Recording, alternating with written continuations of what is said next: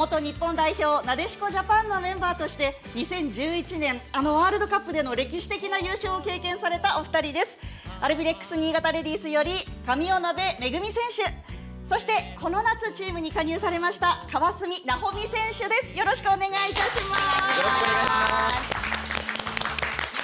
す。お二人ちなみにこの新潟一番はご存知ですか？